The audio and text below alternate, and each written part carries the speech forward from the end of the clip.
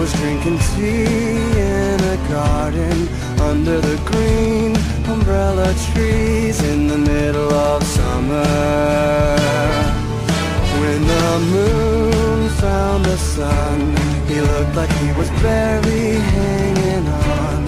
But her eyes saved his life in the middle of summer.